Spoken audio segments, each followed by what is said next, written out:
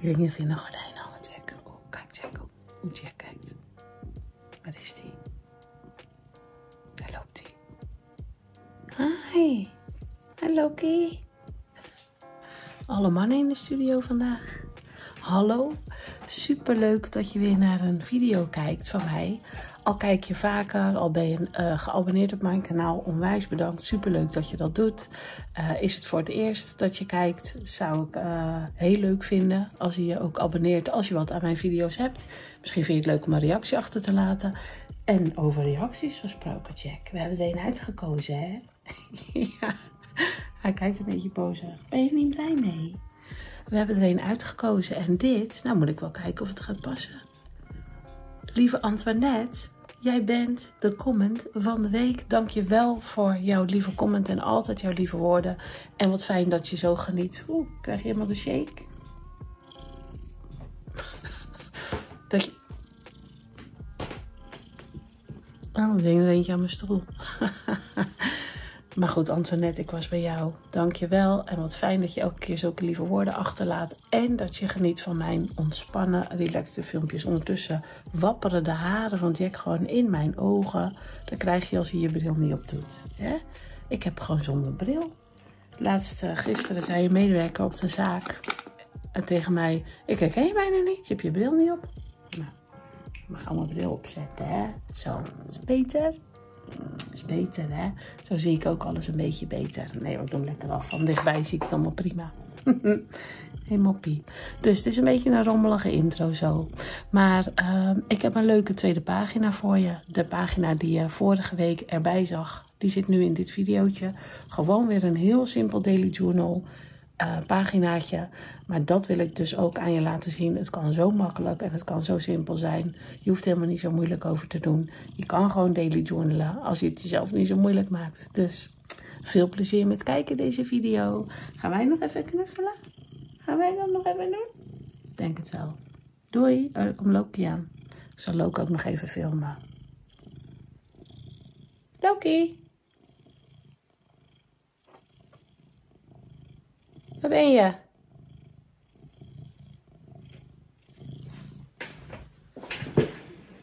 Loki, waar ben je nou? Hi. Ja. ja. Ik weet wel wat hij wil. Die wil naar buiten. Loki wil naar buiten en Jack denkt... Dit is mijn place. Dit is prima plekje voor jou, hè, lieverd. Ja, ga jij maar lekker daar. Gaan we Loki even naar buiten gooien. Wil je naar buiten? Wil je naar buiten? Wil je naar buiten? Helemaal praat jij ook. Wil je naar buiten? Nou denkt hij, laat me dan maar gewoon eruit. Oh, het is al lekker. Ja. Hoi. Wat is de bedoeling? Wel eruit, toch? Ja. Wel eruit. Lekker op pad.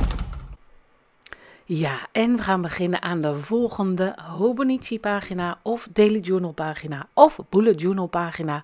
Maakt niet uit hoe je het noemt in, in welk boekje je werkt, maakt ook helemaal niet uit. Ik werk dan wel in die Hobonichi, maar ik weet, het zijn hele dure boekjes.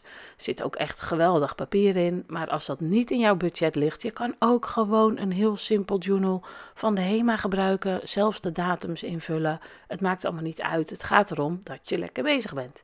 Nou, zoals je weet, schrijf ik altijd de titel eerst even met potlood.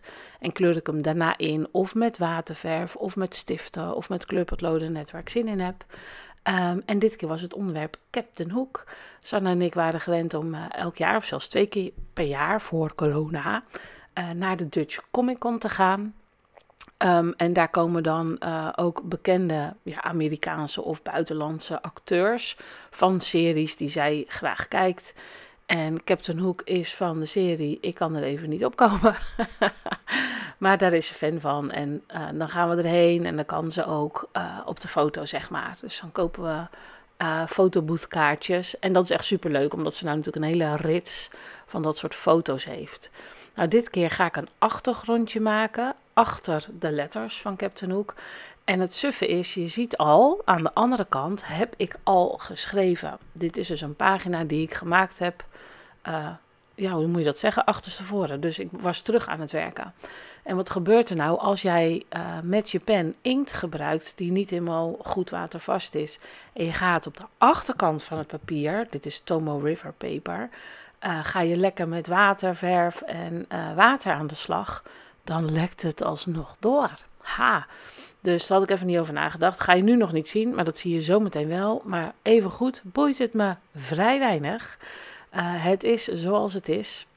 Maar dus wel een kleine tip van Flip. Mocht je dus inderdaad die tekst, die gaat dus doordrukken uh, over deze of achter deze blauwe en groene uh, achtergrond. Dus ik heb het setje van Prima Marketing. Deze heet Pastel Dreams. En ik gebruik de mintgroen en de lichtblauw en die andere nog uh, icy blue of weet ik hoe die namen allemaal heten. die gebruik ik om een beetje de achtergrond in te kleuren. Vergeet ook niet tussen de letters te kleuren. Uh, je kan natuurlijk ook eerst je achtergrondje maken en dan daarna je letters erop schrijven. Kan ook helemaal prima, want je kan heel makkelijk over waterverf weer heen werken. Omdat het natuurlijk over het algemeen vrij licht is. Ligt er natuurlijk wel aan wat voor kleuren je gebruikt en hoeveel water je toevoegt. Maar zo is dus een beetje de achtergrond gemaakt. Uh, ik vind hem nog niet goed genoeg. Er mist nog een kleurtje geel. En uh, geel mist er nog voor mijn gevoel. Uh, gelukkig zit hij ook gewoon in één en hetzelfde setje. Dat maakt het allemaal wel een beetje makkelijker. En als je dus goed kijkt, zie je al dat de zwarte tekst aan de achterkant lekker aan het doordrukken is op deze bladzijde. Maar hey, ik ben nu eenmaal al bezig. Het zit er al. Dat maakt niet meer uit. Kan er nu niks meer aan veranderen. Wel ja, joh, ik knal er nog een beetje extra geel overheen. om het geel nog wat erger te maken. Nou goed, het is nou natuurlijk kledder, kledder nat. Dus ik ga het wel eventjes met mijn heatgun drogen. Um, zodat ik het proces, zeg maar, wat versnel. Want ik vind het vervelend om te wachten. Ik ben ook wel miep ongeduld. Misschien herkenbaar. Maar ja, waarvoor hebben ze anders die heatkunst bedacht? Ja, toch? Dus nadat ik bedacht heb, nou, dit is gewoon goed genoeg, pak ik mijn heatkunde erbij en droog ik het nog even en kijk die letters eens doorschijnen. Lekker hoor. Kom je even gezellig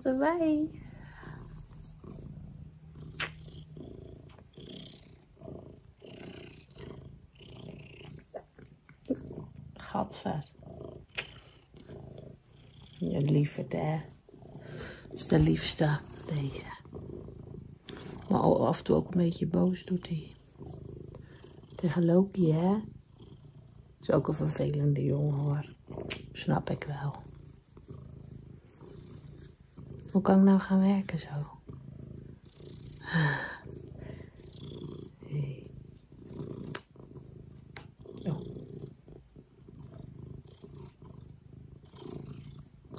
Maar één. Vind niks.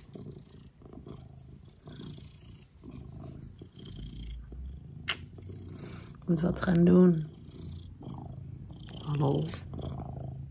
Hallo.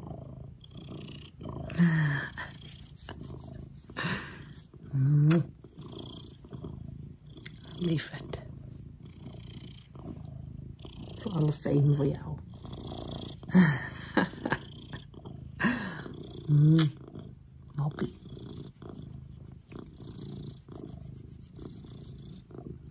Moppie.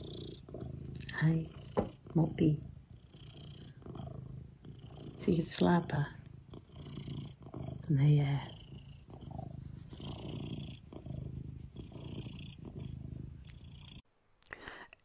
uiteraard is Loki ook van de partij, of Dirk, zoals Ruben hem noemt. En die is ochtends altijd een beetje moe. Die blijft s'avonds uh, uh, lekker lang buiten, bijvoorbeeld tot 10 uur of 11 uur. Dan is hij lekker aan het rovotten in de tuin. Maar, uh, of ik weet niet wat hij s'nachts in huis allemaal doet. Ze zijn allebei gewoon s'nachts binnen. Maar s ochtends moet Loki echt nog even lekker slapen. Dus ze zijn wel buiten geweest, ze hebben gegeten, buiten geweest. En dan komt Loki al vrij snel altijd wel weer naar binnen omdat hij dan denkt, ja, ik vind het allemaal wel best. Ik ga lekker binnen slapen. En dat is ook helemaal prima. Dat maakt ook niet uit waar ze gaan liggen uiteindelijk. Nou goed, gaan we weer verder met de pagina. En uh, de reden dat ik de letters eerst maakte en de kleuren, zeg maar, daarna pas deed, is omdat ik de letters wil omtrekken met stift dit keer. Dit zijn stiften van Edding en ik vind ze heel erg fijn, omdat deze dus helemaal niet doordrukken naar de achterkant. Wat je misschien wel zou verwachten, maar absoluut niet. Dus nou, dit is natuurlijk heel erg fijn. De stiften van Edding. Ik zal ze wel even Ehm, in mijn blogpost die hierbij hoort, zal ik ze wel eventjes uh, linken, zodat je precies weet welke stift ik gebruikt heb. En ook al irriteer ik me nu wel enigszins aan de doorgedrukte letters, ehm, ik laat me niet tegenhouden. Ik ga die pagina gewoon verder afmaken. Weet je, dan is die niet perfect. Dat is juist eigenlijk helemaal dik prima. Uiteindelijk gaat het mij ook gewoon om de herinneringen die ik vast aan het leggen ben over ons dagje die we daar hadden en hoe leuk het was. En uiteindelijk natuurlijk een heel stuk minder hoe perfect mijn pagina wel niet is. Het boeit me echt vrij weinig. Het is mijn eigen art journal of Hobonichi, daily journal, bullet journal. Uh, en het gaat erom dat je blij bent om dingen te maken, dat het fijn voelt. En dat hele perfectionisme, dat heeft hier helemaal niks te zoeken. Je hebt geen lineaaltje nodig, je hoeft het niet af te meten. Je moet gewoon lekker even bezig zijn. Zo, dat zeg ik. Nee hoor, gewoon lekker proberen los te laten als het je lukt. En anders zeg ik, blijf vooral mijn video's kijken. Want volgens mij uh, laat je dan toch je perfectionisme wat meer los. Tenminste, die berichtjes krijg ik elke keer terug. En dat is natuurlijk super leuk om te horen. Dat mensen er ook echt op die manier wat aan hebben. En nog even een tip van Flip. Ik heb net ook een nieuwe podcast opgenomen. Die staat nu, als deze video live is, al online. En die gaat erover hoe hou ik meer tijd over in een dag voor mij voor mijzelf. Om lekker creatief te zijn, om creatieve dingen te doen. Of om te wandelen, om te sporten, om whatever jij zou willen doen in die eigen tijd die jij gecreëerd hebt.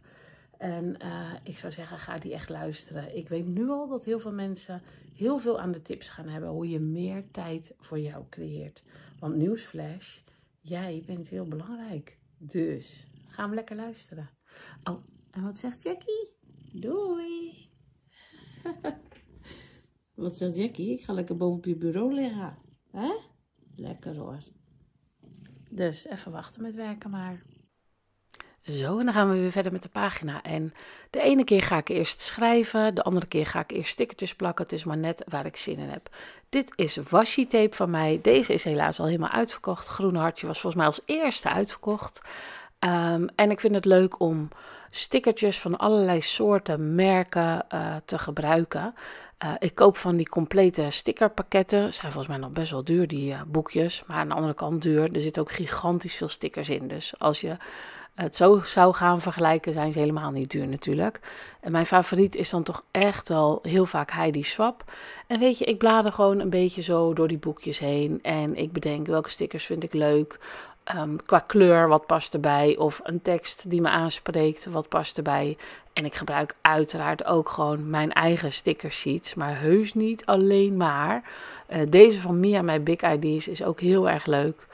Um, dus ja, weet je, misschien kan je daarin uh, investeren. En volgens mij heb je zelfs ook hele leuke stickerboekjes gewoon bij de Action.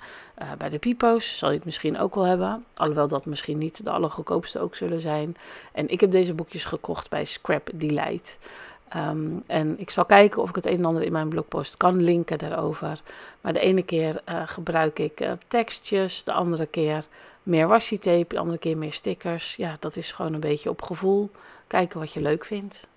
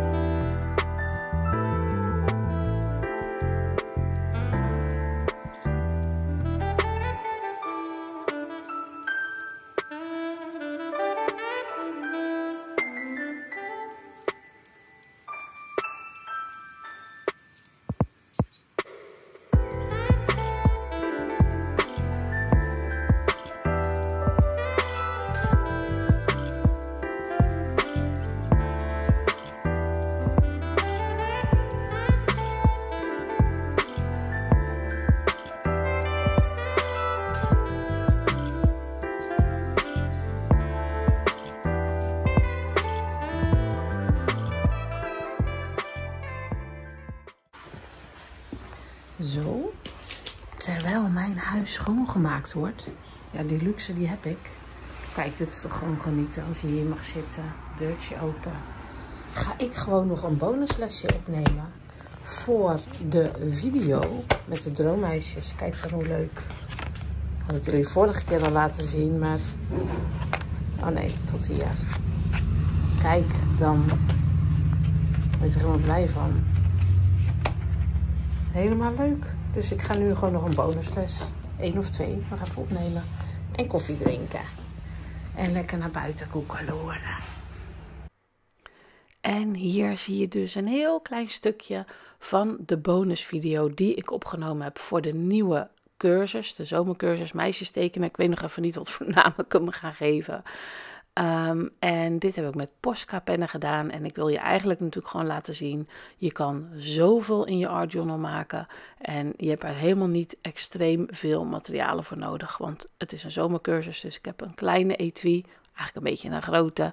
Maar eentje die je natuurlijk wel kan meenemen. Zodat je overal, waar je dan ook bent, uh, lekker aan de slag kunt. Wat is de bedoeling, mannen?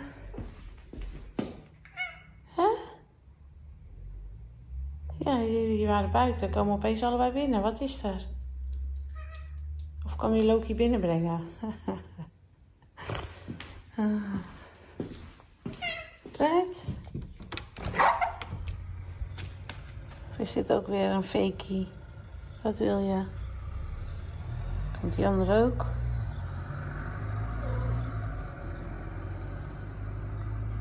Gaan we doen? Toch maar naar binnen.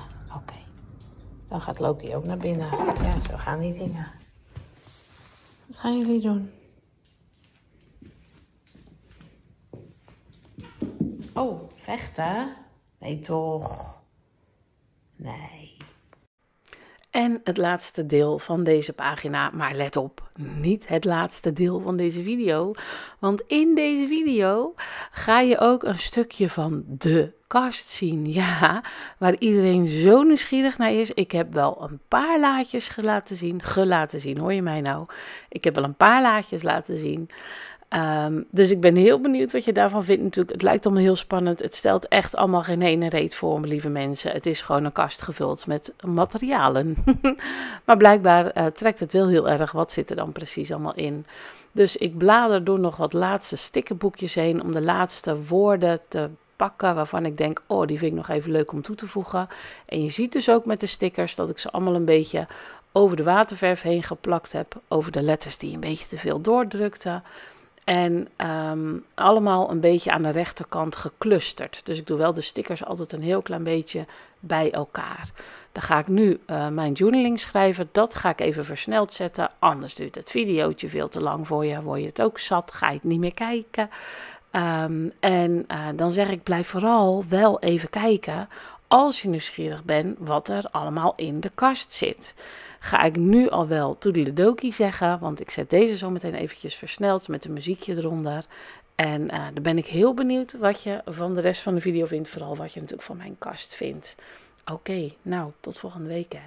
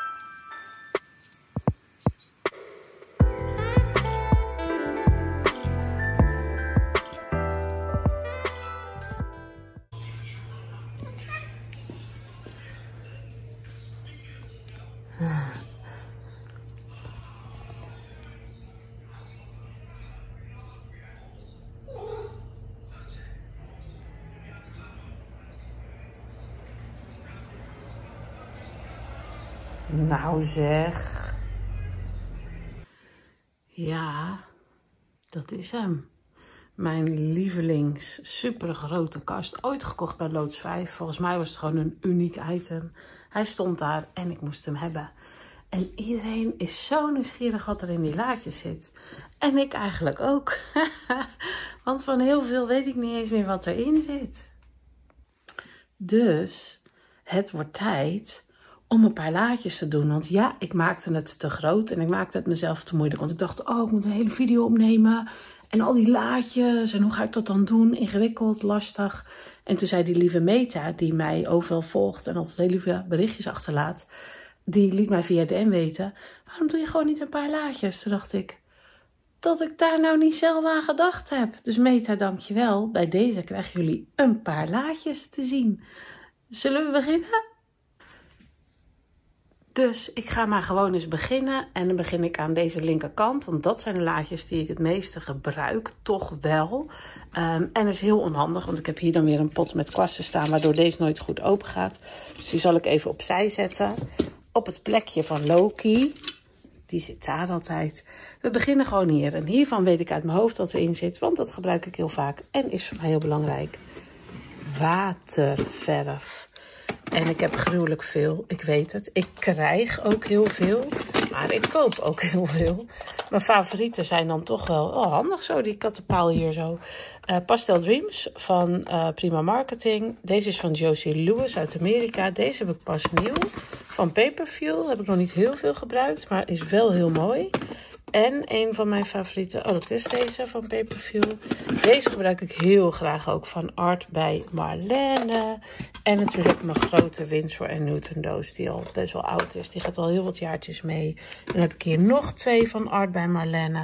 Deze is van Amy Tangerine. Dat is een heel makkelijk reissetje. Dus ik ben van plan om die mee te nemen naar Parijs. En dan heb ik voorraad, jawel. Die van Prima en die van Jane Davenport, die vind ik ook heel erg fijn om mee te werken. En ik heb ook altijd een paar losse napjes nog liggen van kleurtjes die ik veel gebruik. En dit zijn kleuren die gebruik ik wat minder vaak. Maar goed, hè? je kan maar genoeg hebben. Oh, nou moet ik dit allemaal weer zo terug zien te krijgen. Ik weet natuurlijk niet meer hoe dat precies zat. Ik weet het mensen, dit doosje bewaar ik alleen maar omdat ik hem zo leuk vind. Ik heb natuurlijk veel te veel spullen. Dat geeft niet, want ik gebruik het ook allemaal. Dat is het verschil, denk ik. Veel spullen hebben en gebruiken. Als het goed is, gaat het laadje nou precies. Nou, hoe goed wil je het hebben? Dan dit laadje. Die gaat niet alleen niet goed open vanwege dit, maar ook vanwege de boeken die ik allemaal nog wil lezen, die hier staan. Dit is niet heel spannend. Hier zitten alle soorten mediums in. Gel medium, uh, modeling paste, uh, lijmpjes, uh, liquid mat medium, uh, wat is dit? Acrylic medium. Dus mijn laadje met de mediums. Ja, ja, ik sorteer wel een beetje graag. Dit laadje zitten al mijn glitterachtige spulletjes in. Dit soort dingetjes gebruik ik veel. De stickles. En verder alles wat met glitter te maken heeft zit in dit laadje. Nou weet ik even niet meer. Oh ja, washi tape. Allemaal andere washi tape. Niet mijn eigen washi tape. Die heeft een eigen plekje. Dit laadje. Wat is dit? Oh, het hoort een beetje ook bij uh, die lader eronder met alle mediums. Maar hier heb ik bijvoorbeeld, dit is van dat liquid. Uh, waar je dus ja, met een kwastje kan je dat eruit halen en dan ga je met waterverf eroverheen. Dit is gewoon een laadje met allemaal verschillende kleine potjes, zal ik maar zeggen. We doen er nog één. Oh, dit is mijn laadje met al mijn gereedschapachtige dingen. Dus een niet-machine, hoe heet zo'n ding ook weer, met van die om gaatjes te ponsen. Dit hoort bij mijn cricket. Nou ja, je ziet het al. Gereedschapachtige dingen noem ik dat dan. Dit is een laadje met nagellakkies ook niet onbelangrijk. Je ziet, ik heb niks op op dit moment. Ook al is goed voor je nagels natuurlijk. Dus er zit niet alleen artspullen in, ook gewoon nagellakjes. Nou, de laatste voor vandaag hoor, anders wordt het te lang.